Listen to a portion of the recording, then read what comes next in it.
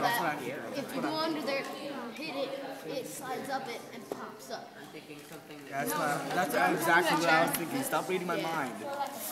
It's not good when people read my mind. So I've been thinking about that. Maybe we could have this um rectangular thing, but it's like short on one side so that it doesn't hit the main thing. So when we have to move that for the tits, it'd be really hard to hit that with no the um wheel thing. Maybe we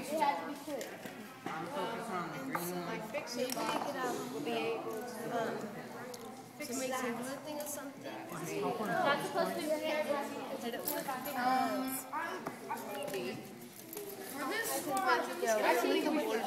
think we like miss it or hit the main thing.